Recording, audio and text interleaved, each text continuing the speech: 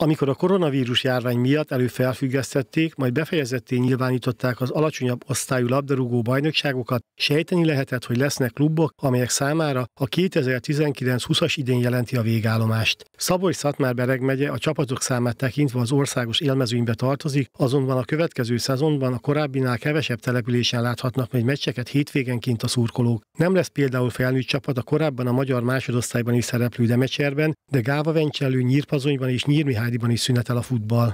10-15 százalékos lemordosolódásra számítottunk itt az igazgatóságon, sajnos a számításunk bejött, hiszen kereken 10 százalékkal kevesebb csapatunk van felnőtt szinten, mint 2019. júliusában az induláskor. Ez számszerűleg azt jelenti, hogy a tavalyi szezonban 120 felnőtt csapat nevezett. A bajnokságra jelenleg 108, tehát az idejére 2020-21-ben felnőtt szinten 108 csapat fog részt venni.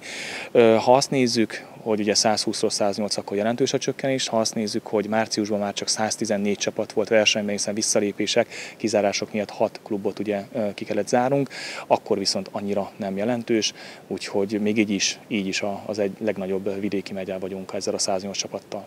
A megyei első osztályban két hely üresedett meg, a Kisvárda második csapat az NB3-ban indul, a Tiszakanyár csak a megye kettőt vállalta, a helyükre a Gyulaháza és a Csenger lépett. A megyei másodosztályban 8 helyet kellett feltölteni, a harmadosztályból felkért csapatok közül 7, köztük a Spari 2 vállalta a magasabb osztályt. Az MLS elnökségének a határozata értelmében ugye a zárótáblázat táblázattal ért véget az előző szezon, nem végeredménnyel, és az MLS elnökségének határozatában az is belefoglaltatott, hogy kötelesek vagyunk 2020-21-ben is minden egyes osztályban ugyanannyi csapatnak biztosítani az indulást, és ugyanazoknak biztosítani az indulást, akik 2019-20-ban is abban az osztályban szerepeltek. Ez azt jelenti, hogy a megyei igazgatóság ugye nem ejthetett ki senkit. Sajnos ezért nem is tudtuk bevezetni idén a 3x14 csapatos megyeketőt, amit nagyon szerettünk volna.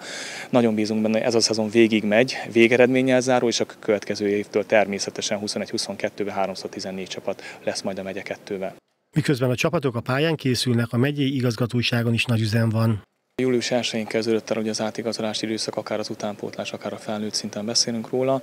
Egyelőre még azért nem mondhatjuk jelentősnek a mozgást.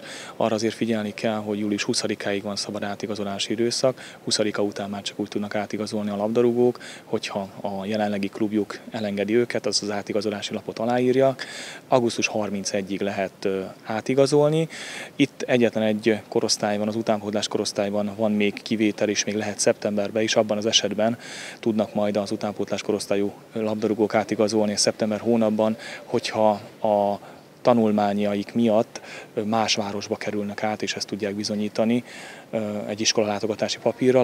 Kvak Árpád elmondta, a Magyar Kupa megyei selejtezőjére 20 csapat jelentkezett, számukra az augusztus 8-ai 9-ai hétvégén rendezik az első fordulót. A megyei első és másodosztályban az augusztus 22-23-ai hétvégén, a harmadosztályban pedig azt követően rajtol a szezon.